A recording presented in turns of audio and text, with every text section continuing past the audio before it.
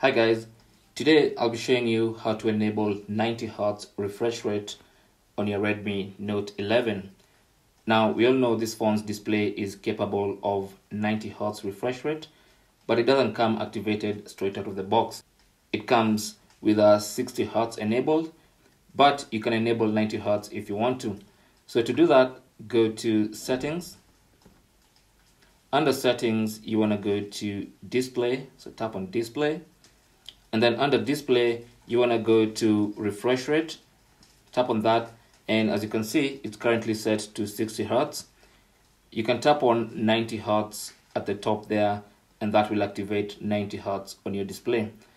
And that's basically how to enable 90 hertz refresh rate on your Redmi Note 11 thanks for watching. You can leave your comments and questions down below. Don't forget to share and subscribe for more tips. Until the next one my name is Chris and I'll talk to you guys soon.